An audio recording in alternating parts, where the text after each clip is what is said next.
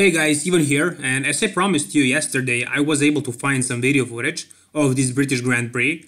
The quality of the video is not that horrible, but it's not great. And also I will update you about Zach King Khan, but that's gonna be at the end of the video.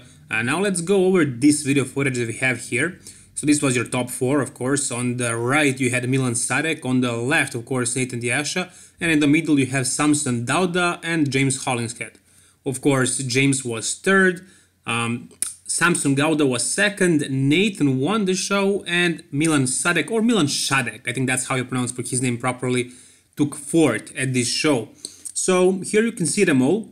And I think it was a pretty decisive win for Nathan. I think he absolutely annihilated his competition. He looks great. And now you can see what is he lacking, uh, hamstrings. His hamstrings are really pretty much non-existent and those hamstrings are probably the reason why he's not higher at the Mr. Olympia, alongside with his back. His glutes are very, very good glutes. that sounds pretty gay, but it is. I mean, it's, it's a fact. His glutes are very developed and dry. He can get shredded, and his back is improved. It is better than the last time I saw him. Um, Samson was great, but he was not at Nathan's level. Now you can see it with this high quality footage you can see that he was rather battling it with James than he was really with Nathan. That's the reason why he's in the middle here. It's not because he's winning the show, of course, uh, they just put Nathan on the side because they knew Nathan is winning it, and now they want to decide between James and Samson. I think it was closer between them, much closer than any of these guys to Nathan. Nathan is just a different level. He's an Olympian. These guys are not Olympians. They are good pros, but not Olympians, and he'll probably not be this year. I don't think so. Milan has a lot of points, so maybe he somehow climbs up, maybe somehow he manages to, to, to actually compete in the Mr. Olympia, but not very likely.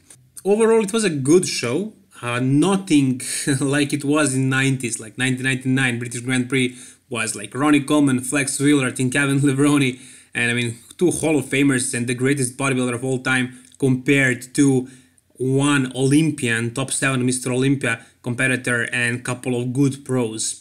So I mean, it's it's night and day, but it was a good show. It was pretty exciting actually.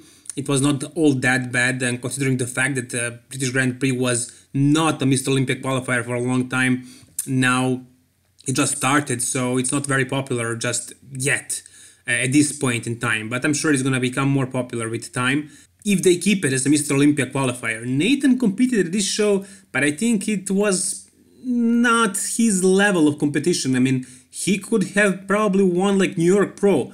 He would do great at the Arnold Classic also, for example. I mean, he wouldn't beat Brandon Curry or William Bonac, no way. Probably not even Luke Sandoe. I think Luke is much thicker than, than, than, uh, Nathan. But he's another level compared to these other guys. But I think he just can't travel outside of his uh, country because of his law problems, because he's pursued by the authorities for dealing drugs.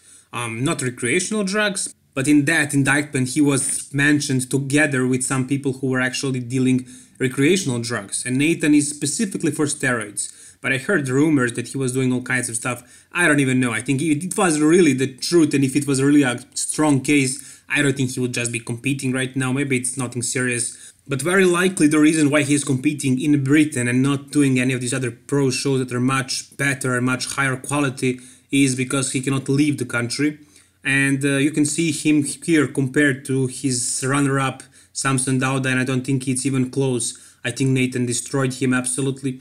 Uh, the thing that, that I really love about Nathan's physique is that he can really get shredded. I mean, this is the 90s conditioning pretty much, even harder than that. He gets really, really dry. I would love to see him in person. I would be blown away, I'm sure. He's pretty complete bodybuilder and very aesthetic, I would say. He has very good frame and uh, it just looks pleasing to the eye if you ask me. It's nothing too much, it's not like thrown around everywhere. It's very compact physique. Yeah, his torso is a bit longer, but I don't think really I can notice that as much.